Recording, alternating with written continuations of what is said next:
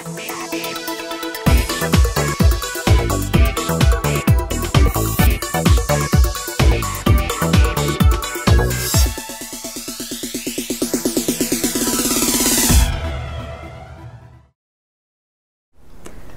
I'm Alex. I am a PhD student at Old Dominion University studying human factor psychology.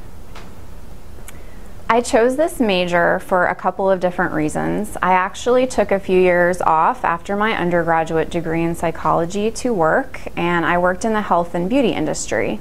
I ended up getting a management position, and it made me start to think about things like training and selection and also leadership qualities. And I thought, wouldn't that be a really interesting thing to study? So I started looking into industrial organizational psychology programs. I also had been out of school for a while, so I decided to go ahead and get my master's degree in experimental psychology here at Old Dominion. I ended up getting matched with a faculty advisor who did some industrial organizational work, but mostly human factors. And I ended up falling in love with a lot of the research that he did. So that's kind of my path to finding human factors. I love teaching, so I am thinking about possibly teaching either part time or maybe as an adjunct, but I also have the experience of doing outreach. So, educating professionals and businesses, not just students, on the importance of user centered design and including the user in the design process is really important to me. But I also would like to work with creative teams to possibly design products that are more user centered, maybe either in a consulting capability or maybe even working for the government. We end up taking a lot of cognition, perception, physiology courses but we also might take decision making, different kinds of psychology courses than you might be used to. So even though we take so social psychology, developmental psychology, we would end up needing to apply that to technology. So you might take a little bit more applied coursework and have more applied projects in your classes. So we might actually have to design a character that someone might use in an education setting. And then you can actually use that in a portfolio later. So it's a little bit different from other majors where you don't get to do some hands-on activities. You might also have to take courses in domain specific areas such as medicine to learn about the medical field or maybe aviation to learn about how pilots do their job.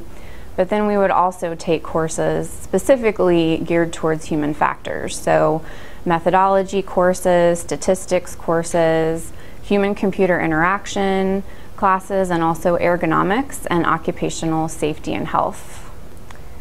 My favorite part of being involved in human factor psychology, probably the toys which you can see behind me here. There's a ground vehicle that we developed here in my lab. There's also a robotic arm, which is actually guided just using hand gestures. So we get to play with some really cool toys. There's an eye tracker in this lab that we get to use. We can use tablets, even website design. We get to be involved in that. We have virtual environments, serious games, all kinds of really cool gadgets. And you won't get to do research with those types of things in pretty much any other major. So I love the toys. I think one of the biggest challenges uh, facing students and professionals in the field of human factor psychology is that we really have to bridge the gap between engineers and psychologists. So we have to be experts in psychology, but also be pretty much experts in whatever engineering we need to know. So it takes a lot of computer science knowledge, maybe more than you really realize coming into it as a psychologist. In addition to knowledge of computers and technical things, it also requires expertise in certain domain areas. So you might end up having to learn a lot about the medical field or maybe how surgeons do their job so that you can design a simulator that's best for them or you might have to learn a lot about a pilot and what goes into their job. So we don't have to just be experts in psychology, whether it's cognitive psychology, social psychology, but also experts in different domain areas. So that can be challenging, but also really exciting because it actually allows us to apply our knowledge of psychology to specific domain areas. I do wish that more people had informed me of all the kinds of career opportunities that are there for human factor psychologists. So we can work in a lot of different areas, whether it's government, academia, industry, even consulting. And to do any one of those jobs might require different level, levels of expertise and experience. So you can actually get a master's degree in human factors and do certain types of work that might be different than getting a PhD uh, and what doors that might open.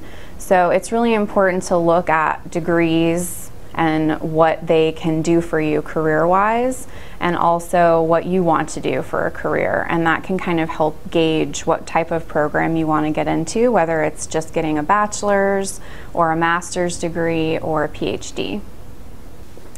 I definitely recommend that students learn a little bit about the technical side of things, so maybe learning more about how a computer works at a basic level. Just having some kind of technical knowledge can really help you in your career path, um, even outside of, of human factors. But definitely within this field, it's good to also have a good grasp of technology. I also recommend taking some statistics courses or research methods courses because regardless of what domain area you go into or what career path you might have, research is a critical component. So understanding and appreciating research is really important. So definitely take some research methods classes and statistics classes. In addition, I recommend that you start thinking about technology in your daily life. So, how do you interact with technology? What technology is designed poorly or really well, and why do you like it? Thinking about how you can make products or technology or even workplaces usable, efficient, safe, but also enjoyable and beautiful uh, can definitely help you frame whether or not you want to go into human factor psychology.